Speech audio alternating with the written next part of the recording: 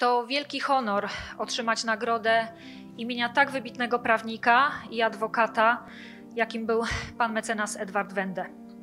Tym bardziej, że odbieram ją jako wyraz nie tylko uznania dla mnie osobiście, ale również dla e, całych rzesz e, prokuratorów, członków Stowarzyszenia Lex Superomnia, sędziów, członków licznych stowarzyszeń sędziowskich e, stających w obronie praworządności oraz adwokatów. Dzięki takim ludziom jak pani prokurator Ewa Wrzosek, demokracja i prawo w Polsce jednak mimo wszystko się bronią. Przyzwoity prawnik, obywatel i patriota jest gotów zawsze i niezależnie od okoliczności bronić ludzi i tego, w co wierzy. Być wiernym zasadom, prawu i porządkowi prawnemu demokratycznego państwa prawnego. Nie bez powodu właśnie te kryteria musi spełniać la- laureat tej właśnie nagrody. I pani prokurator spełnia je wszystkie, bez wyjątku.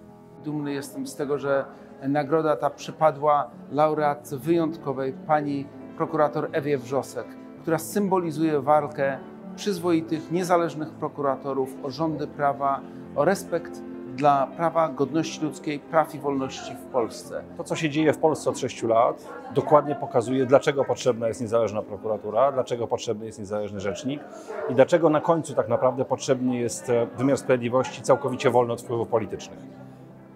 Zawsze marzyłem o tym, by Okręgowa Rada Adwokacka była miejscem spotkań społeczeństwa obywatelskiego i wszystkich zawodów prawniczych. Dzisiaj tak się stało.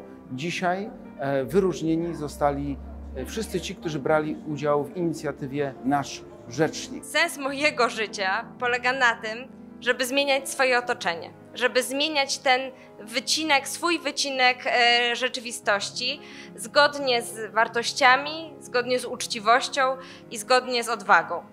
Państwo nie potrzebuje w mojej ocenie klakiera, państwo potrzebuje właśnie niezależnego rzecznika praw obywatelskich, żeby od niego się uczyć i żeby naprawiać swoje błędy. Rzecznik Praw Obywatelskich sprawdza tak naprawdę, jak państwo działa w praktyce. Bo do biura Rzecznika Praw Obywatelskich zwracają się zwykli obywatele, którzy nie mają już do kogo się zwrócić o pomoc.